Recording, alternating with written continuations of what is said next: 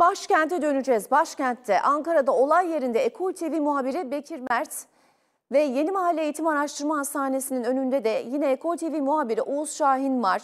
Ankara'da son durum ne? Şimdi dinleyeceğiz. Önce Bekir Mert'e dönmek istiyorum. Bekir Mert nedir son durum? Senden detayları, ayrıntıları dinlemek istiyorum.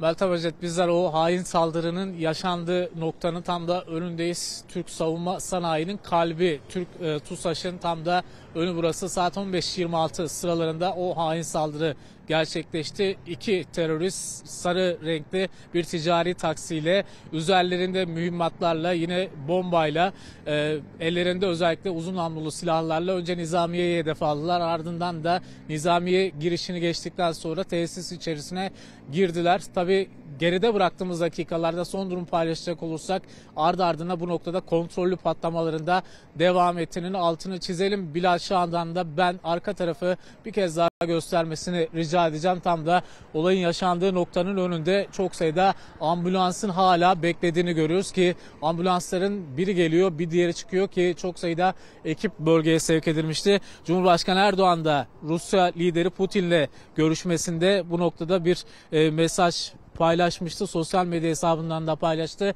Türkiye e, Türk savunma sanayinin lokomotif kuruluşlarından olan TUSAŞ'a yönelik düzenlenen terör eylemi ülkemizin bekasını, milletimizin huzurunu ve tam bağımsız Türkiye idealimizin timsali olan savunma atılımlarımızı hedef alan alçak bir saldırıdır ifadesini kullandı. Cumhurbaşkanı Erdoğan terör eyleminin ilk anından itibaren güvenlik kuvvetlerimiz olaya süratle müdahalede bulunmuş ve teröristleri etkisiz hale getirmiştir ifadesini kullandı. Yine terörle mücadelede kararlılık mesajı verdi. Her türlü terör tehdidiyle ve destekçileriyle mücadelemiz azim ve kararlılıkla çok boyutlu bir şekilde devam edecektir ifadesini kullandı. İçişleri Bakanı Ali Yerlikaya buradaydı. Ulaştırma ve Altyapı Bakanı Abdülkadir Uraloğlu, Uraloğlu ile kameralar karşısına geçti. Önemli mesajları vardı. İçişleri Bakanı'nın saat 15.26'da yaşanan bu saldırıyla ilgili özellikle biri kadın, biri erkek olmak üzere iki teröristin etkisiz hale getirildiğini ifade etti. 4 şehidimiz var, 14 yaralı, üçünün de durumu ağır ifadesini kullandı. İçişleri Bakanı Ali Yerlikaya biz toparlayacak olursak şu an patlamanın yaşandığı, o hain saldırının yaşandığı TUSAŞ'ın tesislerinin önünde yoğun bir güvenlik önlemi var. Bir yandan da içeride özellikle kontrollü patlamalarında devam ettiği bilgisini paylaşalım. Şunun da altını çizelim. Yayına girmeden birkaç dakika önce içeride bulunan, tesis içinde bulunan TUSAŞ çalışanları, personelleri de bu noktadan tahliye edildi. Bir yandan büyük bir kompleksten bahsediyoruz. Anadolu, Anadolu Lisesi ve kreşin de içinde yer aldığı büyük bir tesisten bahsediyoruz. Şu an itibariyle güvenlik önlemleri yoğun bir şekilde e, bu noktada devam ediyor diyelim. Sözü yanından İstanbul'a size bırakalım. Peki Bekir Mert çok teşekkür ediyorum. Hemen Yeni Mahalle Eğitim Araştırma Hastanesi'nin önünde bulunan Ekol TV muhabiri Oğuz Şahin'e soracağım şimdi. Oğuz Şahin yaralılarımız var. Hepsine öncelikle acil şifalar diliyorum buradan. E, nedir senin gözlemlerin? Farklı hastanelerde zannediyorum yaralılar e, buralara sevk edildi. Sen neler gözlemliyorsun? Meltem Açes senin de söylemiş olduğun gibi 3 farklı hastanede tedavi altında menfur saldırıda yaralanan 14 vatandaşımız ve e, bunlardan 3'ünün durumunun ağır olduğu açıklandı. Tedaviler devam ediyor.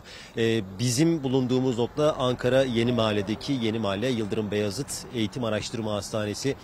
Buradan geçtiğimiz dakikalarda maalesef iki şehidimizin cenazesi çıkartıldı. E, cenaze aracına polis araçları eskortluk etti ve e, o araç yani cenaze aracı şehitlerin cenazesi buradan çıkartılana kadar hastanenin önünde aslında son derece büyük bir hareketlilik vardı. Şimdi ben e, kameranın önünden çekileyim. Kameraman arkadaşım Aytekin Polatel size araştırma eğitim eğitim araştırma hastanesinin önünü gösterecek. Şu an aslında biraz daha sakin geçtiğimiz yarım saatin içerisinde burada büyük bir hareketlilik vardı.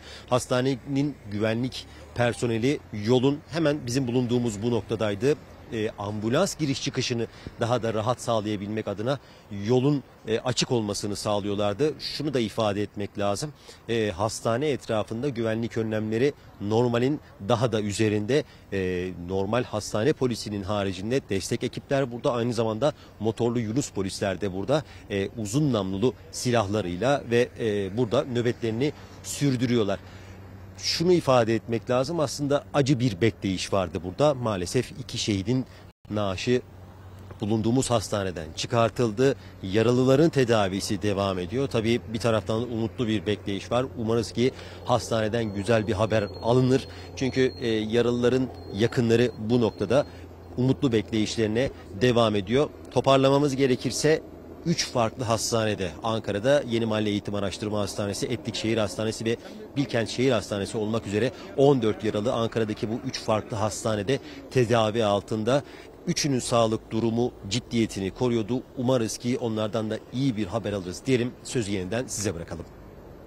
Peki Oğuz Şahin çok teşekkür ediyorum. Son durumu arkadaş, arkadaşımız Oğuz Şahin aktardı efendim. 14 yaralı var. Üçünün durumunun ağır olduğunu iletti. Biz bir kez daha ana haberi kapatmadan önce tüm yaralılarımıza acil şifalar dileyelim. Bu arada 4 de şehidimiz var.